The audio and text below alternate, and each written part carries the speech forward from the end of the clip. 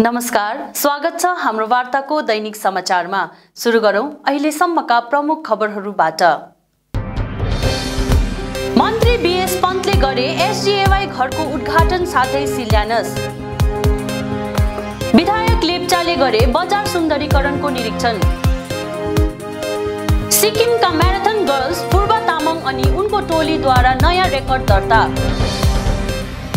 गेजिङ जिल्लाका नवनियुक्त जिल्लापालले गरिन् परिचयात्मक सभा।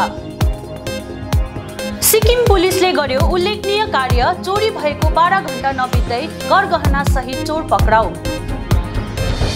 तामिलनाडुमा चौवालिसौँ चेस ओलम्पियड अठाइस जुलाईदेखि सुरु हुने। गोजमुमु अध्यक्ष विमल गुरुङद्वारा आमरण अनसन सुरु। अब समाचार विस्तारमा।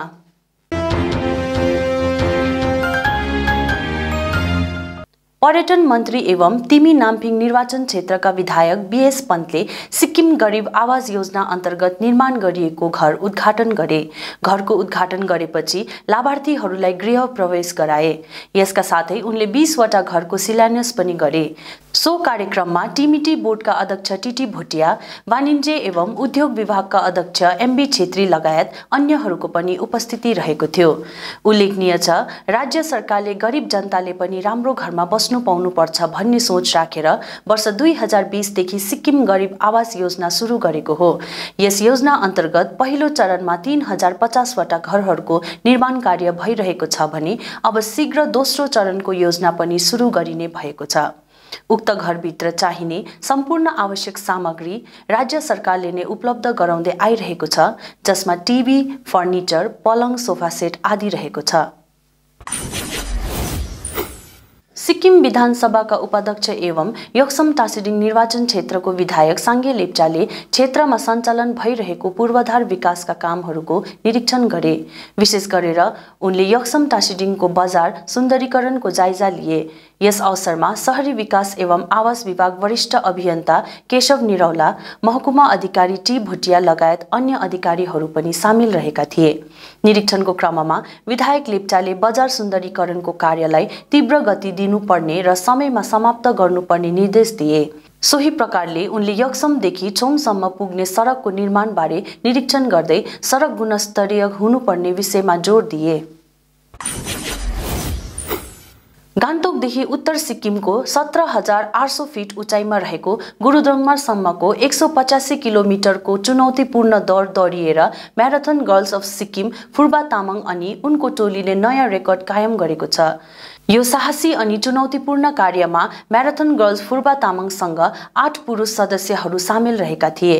अन्तत उनीहरूले इन्डियन बुक अफ रेकर्डको निम्ति आफ्नो प्रयास पेश गरेका छन्। जेबिजी इन्डुरा एक सौ एक नामक यस टोली अधिक गरौँ अधिक बनौँ भन्ने कुरामा विश्वास गर्छ अनि यो नै टोलीको वकालत रहेको छ। यसैको आधारमा उनीहरू एक सौ पचासी किलोमिटर दौडिएर सत्र हजार आठ सौ फिटको उचाइसम्म पुग्न सक्षम बने टोलीले यो लक्ष्य पाँच दिनमा हासिल गरेको थियो। बिस मईको दिन गान्तोकबाट सुरु गरिएको दौड चौबिस मईको दिन गुरुदोङमार पुगेर समाप्त भएको थियो। नौ सदस्यीय टोलीद्वारा गरिएको यस चुनौतीपूर्ण दौड अवधि स्वस्थ फिजियो फोटोग्राफी टोली खाना हाइड्रेसन सामानको निम्ति वाहन सहयोगी सदस्यहरू अनि आवश्यक कुराहरू सामेल रहेको थियो। गेजिङ जिल्लाका नवनियुक्त जिल्लापाल हिस्से डी योङडाको पहलमा राबदिन्सीको जिल्ला प्रशासनिक केन्द्रमा विभिन्न विभागका अधिकारीहरूलाई लिएर परिचयात्मक सभा सम्पन्न भयो।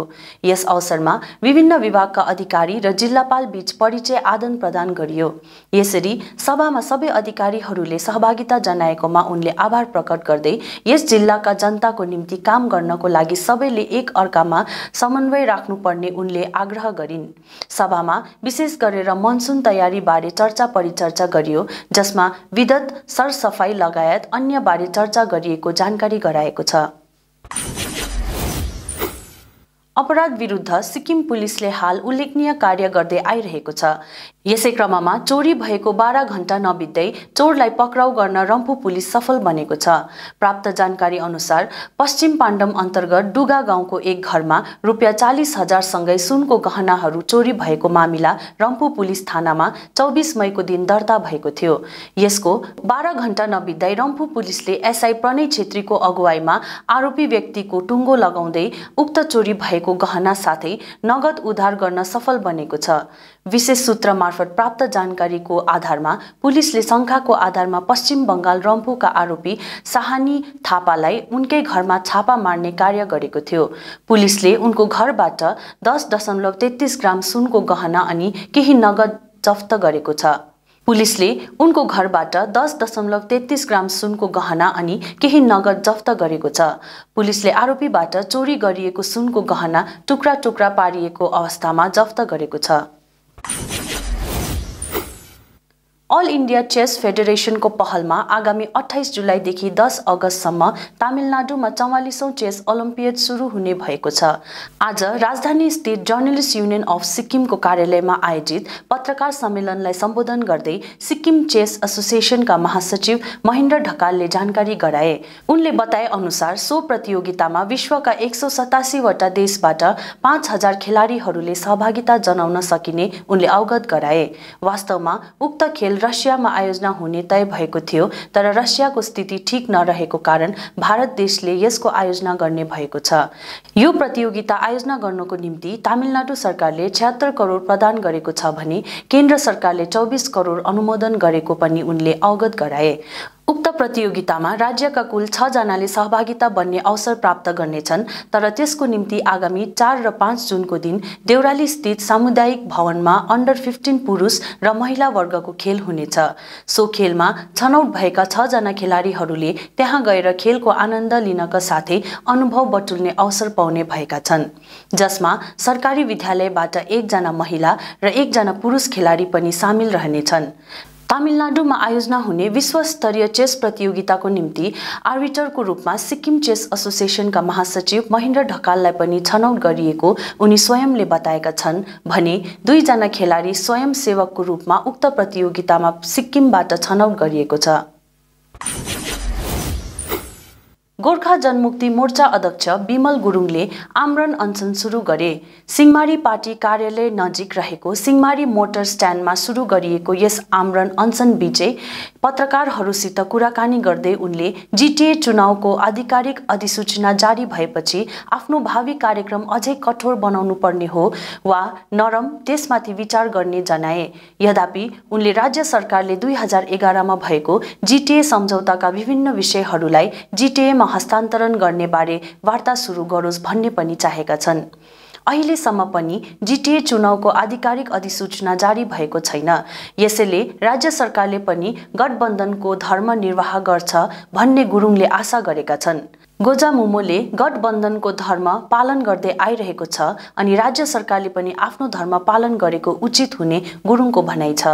यसैबीच उनले दुई हजार एघारमा भएको जिटिए सम्झौताका विषयहरूलाई जिटिएमा हस्तान्तरण गर्नको लागि राज्य सरकारले सुरु मात्रै गरे पनि आमरण अनसन फिर्ता गर्न सक्ने सङ्केत पनि दिएका छन्। किनभने उनको आमरण अनसन जिटिए चुनाव अघि नै दुई हजार एघारमा भएको सम्झौताका विषयहरू जिटिएमा हस्तान्तरण हुनुपर्छ भन्ने लिएर हो। तर राज्य सरकारको तर्फबाट जिटिए चुनावको घोषणा गरिएपछि उनले आजदेखि आमरण भोक हडताल सुरु गरेका छन् जहाँ गोजा मोमो समर्थकहरूले विमल गुरुङ जिन्दाबादका नाराहरू चर्काएका थिए भने यस अवधि पार्टी समर्थकहरूको व्यापक उपस्थिति रहेको थियो। हवस् त आजलाई यति नै। भोलि फेरि अन्य समाचार लिएर उपस्थित हुनेछौँ। हेर्दै गर्नुहोस् हाम्रो वार्ता टेलिभिजन।